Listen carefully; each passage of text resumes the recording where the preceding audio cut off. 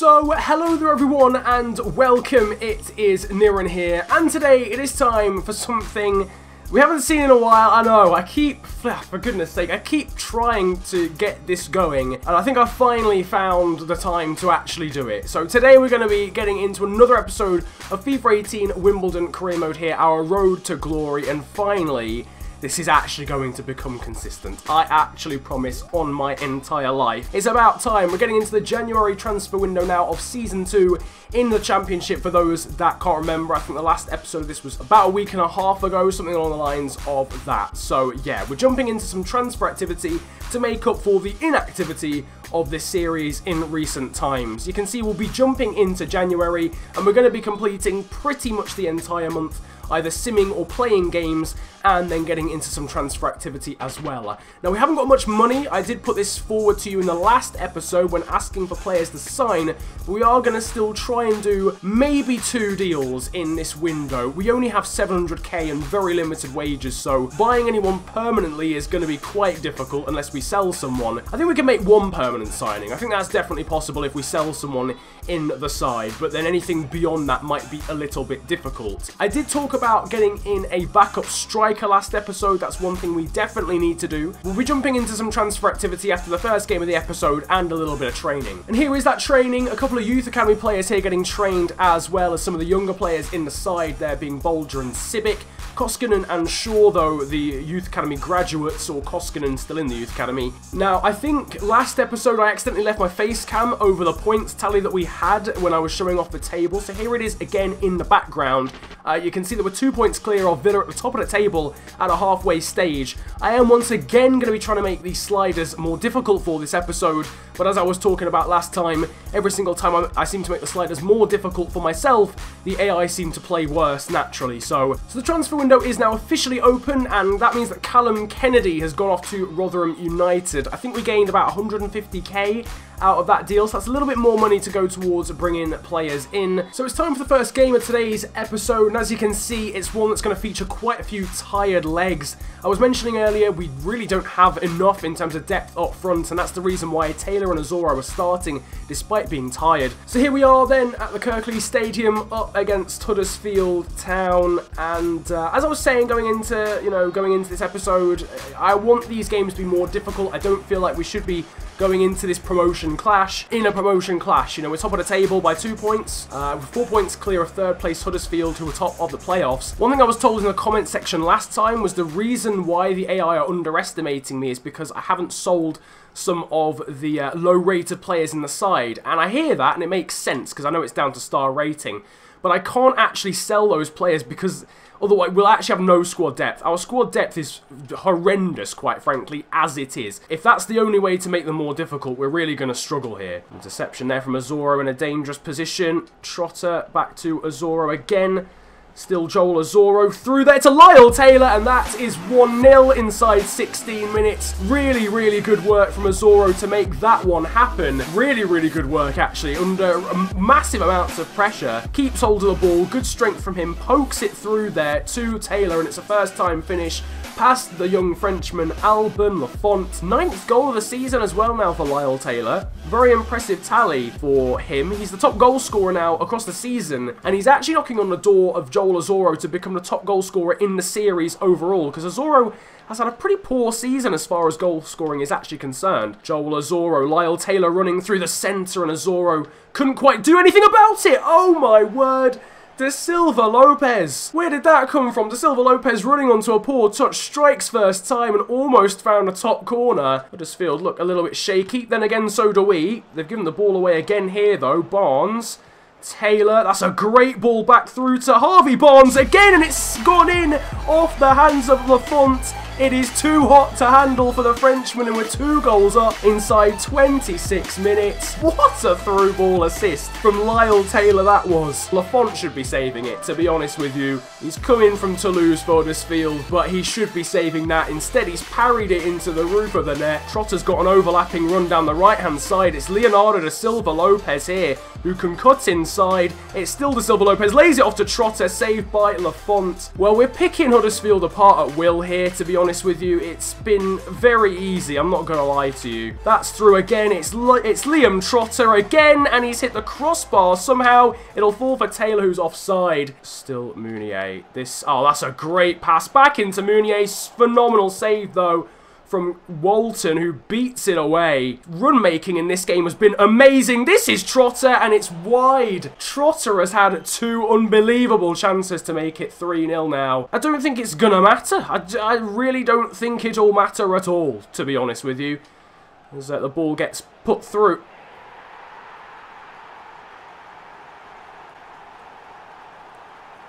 Okay, I'm, I'm just, I'm not right, I'm not being funny, but I feel like Walton probably could have done a bit more than that, to be honest. I feel like he probably could have dealt with that situation. It's not even a back pass. It was a misplaced through ball from the Huddersfield midfielder. I literally, I pulled the defender away because I was like, it's safer for the goalkeeper to come and deal with it. It was literally on his goal line. It was on his flipping goal line. Ah, oh, for the sweet love of God. I was literally just saying, these missed chances aren't going to mean anything because Huddersfield aren't doing anything. Well, our goalkeeper isn't doing anything apparently because that was absolutely abysmal. We're on the edge of half time. We've got one more attack here, I feel. De Silva Lopes brought down in the area and it's a penalty. I mean, the last segments of this half have been an absolute catastrophe. Yeah, we'll give it to De Silva Lopes. He won the pen, so we will allow him to take it. This is another chance now for us to get a third goal in this game. Please, for the love of God, can we not mess it up? We don't this time. De Silva Lopes does get our third goal, and we now lead 3-1 in this one. It's a nice penalty from De Silva Lopes, but Lafont doesn't even dive, so he made it very easy for the Portuguese winger. Four goals. Am I even playing the same FIFA that I used to? Four goals in 45 minutes. Huddersfield coming forward again here. They've already got forward probably more than they did in the entirety of the first half. Pritchard with the ball in, not dealt with by Florence or Oshilaja. But the shot is blocked in the end from Mounié. This now is Trotter. There's a man down in the area for us. We will play on, though, because we found Nzuzi Toko at the back stick. What a save from Lafont from the acrobatics from Nzuzi Toko. What a goal that would have been. Nzuzi Toko's definitely got the pace to get away. Still using it. That's now back into Lyle Taylor. Back out wide again now for Nzuzi Toko, who's got men to aim at, but he goes alone and Lafont saves in the end. And that is the end of the game. We win win that one 3-1. Pretty convincing performance, to be honest with you. Although Huddersfield definitely stepped things up in the second half when they started to bring on some better players. Alright, so we've done with the first game of the episode, and now we're going into the first bit of transfer activity in this episode. We are meeting up with the manager of Molde FK. We're going to be talking about the transfer here of Erling Haaland. Now, I don't know if you guys know much about this kid. I think he starts the game at 16 years of age, literally. But he's someone I've had on my shortlist and it's been suggested to me quite a few times already in this series. I've already been talking about backup strength in terms of strikers and I feel like he would definitely be someone that we should take a look at. We're going to offer 800k. If I'm honest with you, I'm not massively convinced this is going to work, but we're going to try it regardless. Uh, they want 860. I'm going to go in the middle. I know that sounds really petty. So we've agreed an actual fee then with Molde for the player, for the for, for Erling Haaland, who's also a bit of a taller striker, so he offers a bit more in terms of now aerial ability instead of just playing the ball on the ground like we have with Lyle Taylor. Now, the only thing I'm thinking here is if we wipe out our entire budget on a player, we're going to struggle, obviously, to do any contracts, and the only one I'm worrying about is Nzuzi Toko, because I feel like he'll want a pay rise, and there's bonuses and all sorts of other stuff that go along with it as well. So I'm a little bit worried about just bringing in a player for 800k and then just not having anything, like money at all, to then keep someone like Toko. I do not want to allow someone like Toko to go on a free transfer. Now, speaking of players that could well go out the door, this is the list, and I know this is going to cause some controversy because it did when we first thought about selling him. But Dean Parrott has been transfer listed, and the reason why is because A, he wants to leave already, so I feel like the board are just going to try and push me to sell him anyway. And B, he's not getting any game time. We have so much depth in terms of centre mids. Or, I mean, not that much, but a lot more than the other places in the squad. As you can see, email here from Haaland reminding us to go into negotiations with him. I can't risk that. In fact, I'm, I'm tempted to just give Toko a new contract right now, and then we can deal with it afterwards. I feel like that's the better choice of action here. We will delegate the renewal, though, because that means that we don't have to pay any bonuses to him. Yes, beautiful. Yeah, accept that. Calm. So that's not even any change in wages, and I don't think it'll change the amount of money that we have. It hasn't. Beautiful. And we've somehow got 11k in wages now. Why do we have 11k in wages? Have we just cheated the system by accident? You know what? I, don't give a fuck. Honestly, I don't even care anymore. Well, in that case, we might as well just go ahead and do the Haaland deal, innit? To be honest with you. I mean, we're now sorting out the contract negotiations with Erling Haaland here. We've already agreed on an 830k transfer fee, which is really good for a player of his overall and his age and his potential. I think that's an absolute bargain. Uh, in terms of contract length, I'm going to go for four, but I know they always go for less than that. No, okay, Haaland is Haaland is easy to please, seemingly, at the moment. So he's gone for four years and rotation, a slight increase in wages, and a signing bonus of 29.5k and appearance bonus of 33.5. Okay, I mean, maybe remove the bonus. Okay, now he wants a bit in more in wages. That's fine. Okay, that's calm. I'd, ra I'd rather that, to be honest with you.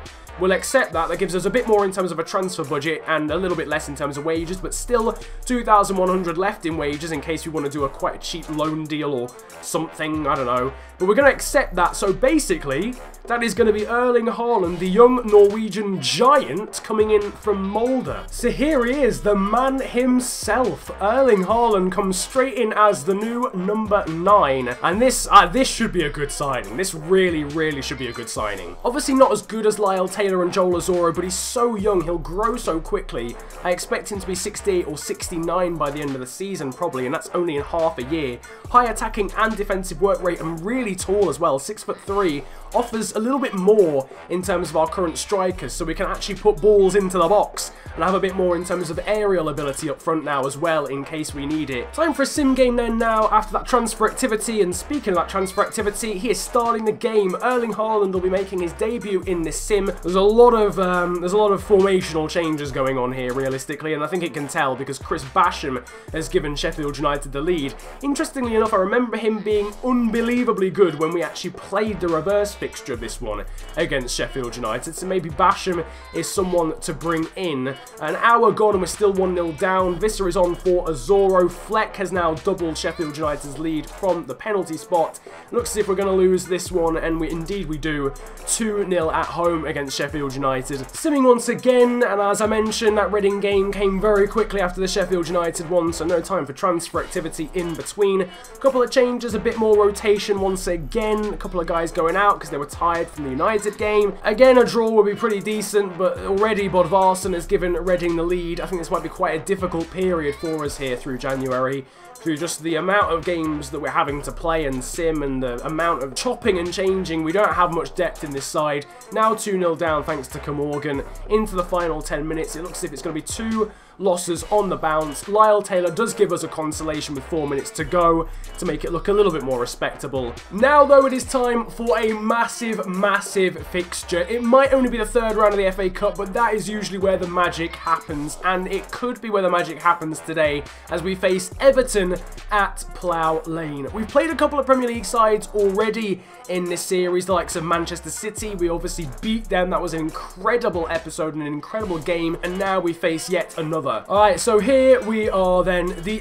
FA Cup. It is time for some magic to occur once again. Please, oh please, can we defy the odds here? There though is the man that's leading us out onto the pitch. Deji Oshilaja has been downright incredible since we gave him the captain's armband. This is the big one. AFC Wimbledon versus Everton a taster of what could be to come if we continue our phenomenal debut season in the Championship. There's the Everton side then down at the bottom. Jordan Pickford in goal. A couple of weaker defenders, really. In fact, there's a couple of youngsters definitely playing. Good challenge, though, there from Toko. Assured from him, De Silva Lopes, Toko. We can start a bit of a counter-attack here with Lyle Taylor. Dozzell down this right-hand side. It's found Dozzell. Cut back for Lyle Taylor. Saved, though, by Jordan Pickford. And the first big chance of the game comes to us. It wasn't quite in the corner. It gave Pickford a bit of a chance, but it's still a good save from the Englishman. Now it's Calvert-Lewin. This is good passing play from Everton. Good block again from Dale Fry, but it falls kindly to Calvert-Lewin. Now Rooney, and it's just, just wide. I honestly thought Rooney would have been scoring there, but Wayne puts it just, just inches, millimetres wide. We're keeping them honest still. Lyle Taylor, Azoro through to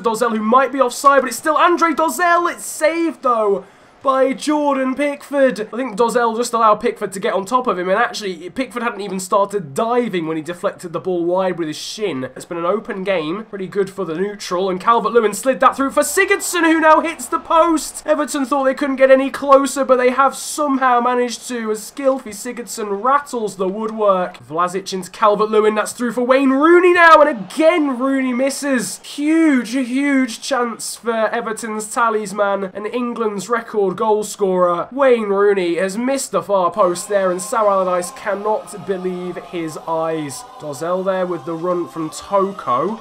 Lyle Taylor back into Toko again. That was a brilliant 1-2. There's a man at the back stick. It's Harvey Barnes on rushing and it's 1-0. Harvey Barnes gets his second goal of the episode. We're 1-0 up against Everton, ladies and gentlemen. This is absolutely huge scenes. What a goal that was as well. Lovely 1-2. Great passing play. Toko down the right, looks up, sees Barnes relatively unmarked at the back stick, and Barnes volleys it back across goal. Really nice finish from him. No chance for Pickford from that sort of range. And the man in on loan from another Premier League side being Leicester has given us the lead against Everton in the FA Cup third round. That is huge. Oh my word, we could easily be behind, we could easily have been in front, we could easily have been level with the amount of chances there's been in this game so far but we have just about been the most clinical and we take our chance there and now Everton have got to come out and attack us even more to get back to level pegging. Calvert-Lewin, though, is going to try and get past Osher He's twisting and turning. It's still Calvert-Lewin, but blocked by Fry. Into injury time in this first half, and once again, it's been another action-packed first 45 minutes of football in this episode. And we are on the verge of causing an upset again. Just another half of football to go before we reach the fourth round against all the odds once again. Got support in the shape of Azoro. De Silva Lopes was making a great run, but it's fallen to Azoro. What a volley, but a great save from Pickford. Martina, though, loses the ball. Gets lucky on the bounce, though. It's still Gylfi Sigurdsson now. Dale Fry, though, does excellently to win the ball, but then gives it straight to Rooney. Oh my word, Dale Fry, that is not where I wanted you to put the ball at all. I wanted you to put it down the line, let alone centrally. Barnes with an interception, falls kindly to Everton though. This is Schneiderlin, good ball into Calvert-Lewin and it's curled wide again. Everton, Everton, Everton, they've had all the chances in the world to equalise in this one. That is Calvert-Lewin's last action as Cenk Tosun comes on. The Silva Lopes I can sense getting a little bit fatigued down the right-hand side. Also going to bring on Erling Haaland for his first chance to impress, if you like, up top as a played game. So he's going to get 17 minutes at the end of this one. Sandro Ramirez comes on for Wayne Rooney. I've been really surprised with the lack of urgency from Everton, even with just 10 minutes of the game to go. There's only 2 minutes of the game to go now, and they're barely throwing, I think they've only just started throwing players forward. We're literally into injury time now. They've given the ball away there. We're just commanding the play now. McTominay, this is Dozzell. Can he hold on to the ball? He can't. But it doesn't matter anyway. We have won here against Everton in the FA Cup. The Wimbledon fans, unsurprisingly, going absolutely mental. One goal from Harvey Barnes was all that was required to win this one. Pretty disappointed, if I'm honest, with Everton. They were very unclinical. They created a lot of chances, but a lack of urgency. A weird one in the last 20 minutes because they played so well up until then, and then when it really mattered, they just didn't have any urgency or want to throw anyone forward. But 1-0 in the end. We progress to the fourth round of the FA Cup. It is yet another cup giant killing from AFC Wimbledon. I feel like this is all that needs to be said about the game. Six shots for us, six on target, eight shots for Everton, zero on target. And Zuzi Toko, rightfully in my opinion, gets man of the match. I know Barnes won us the game with the goal, but Toko was absolutely unreal. I know Everton have Idrissa Gueye, but Nzuzi Toko made him look like a B-Tech version of himself. Whew, giant killing again, ladies and gentlemen. Nothing much going on on the transfer front at the moment. No bids coming in for Dean Parrott. And in terms of loan bids, a lot of our youngsters don't seem to want to go out on loan for some reason. So instead, we're going to focus on the next one up against Scunthorpe, who are rocking a pretty interesting formation going into this one. In theory, we should be able to beat them in this game. We're going a decent way towards doing so with a Leonardo da Silva Lopes goal inside six minutes. He's been very good goal scoring wise in sim games. It's something that I've noticed across this season so far. Novak has actually equalised for Scunthorpe. So into the final 10 minutes, can we grab a winner? No, we cannot. Only one point. The goals and the points are shared between ourselves and Scunthorpe. That's probably the first time I've actually been genuinely disappointed in a sim game this season. Final game action of this one is going to be an away game against Watford here in the Championship. As you can see, they're going into this one with a win against Bolton after two 2-0 losses on the bounce. Watford are a very good side, let's not beat around the bush, so this is going to be a very difficult game. Only change for this one is that Aaron Bolger is in for the suspended Nzuzi Toko, who picked up too many yellow cards. And, uh, well, Pereyra's given Watford the lead very early on, inside one, inside four minutes, sorry, to give them a 1-0 lead. That team is so good. How is that team even in the championship? They've got Jonathan Tah and flipping Smolov Pereyra, we've done well to only lose that 1-0 to be honest with you, but the shocking form in Sims is appearing to continue at the moment, so as you can see, it's left us in, well, not a phenomenal position in terms of the league. We've gone from being top of the table at the start of this episode to being fifth. I mean, we're only three points behind table leaders Leeds United, but we've actually managed to slip below Huddersfield Town, who we beat in the first game of this episode to go about five points clear of them. So that just shows how poor our form has been since then. In the background though now you're going to be seeing the Hall of Fame as we start to wrap up this episode.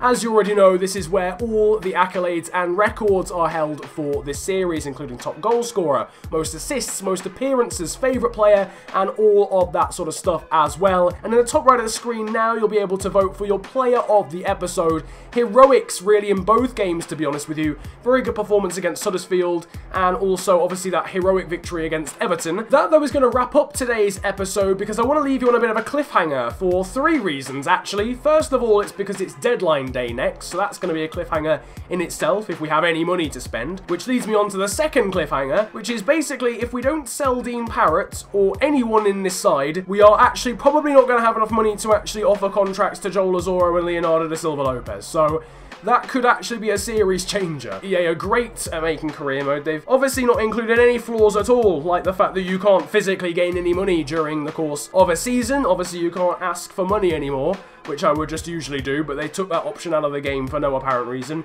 You don't get prize money during the course of an actual season, so there's no way for me to actually earn the money to be able to offer those two new contracts. And given it's so difficult to sell players in the actual transfer window, this could prove to be very difficult indeed. And also, there's the third and final cliffhanger, which is the fact we've been drawn against Arsenal at the Emirates Stadium for round four of the FA Cup. So that is going to be the first game of the next episode. Slap the like button if you're looking forward to that one, because that's going to be a titanic clash on the same level of that historic Manchester City win. Regardless of that though, again, slap the like button if you enjoyed this video, subscribe if you're new to the channel as well, it really helps me out. You can follow me on social media, my Twitter handle and Instagram handle are both the same, it's at the official FNG, and links are down below.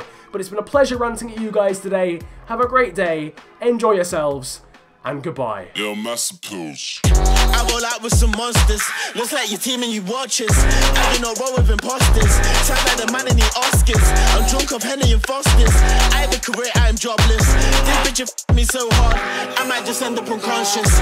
I like girls in lingerie, especially if it is crotchless. Bitch, I am the bigger picture. There is no way you can crop us.